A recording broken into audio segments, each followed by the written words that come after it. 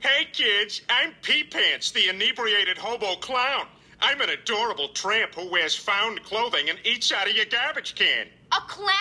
Dad, I'm 17. Meg, guess what Pee Pants got you for your birthday? A scarf. I don't want a scarf, Dad. Well, then, how about a dozen scarves?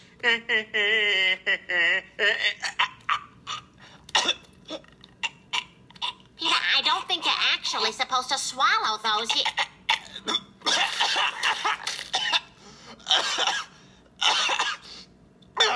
Here you go, Meg. I don't want them. Take them.